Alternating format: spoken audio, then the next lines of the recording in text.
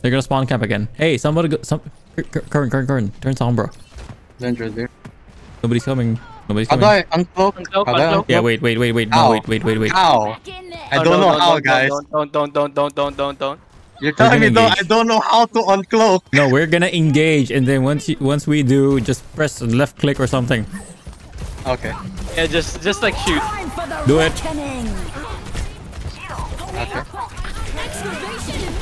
Excavation initiation. Go, go, go, go, go. Just push, just push. Get in there. Yeah, I. Stop me.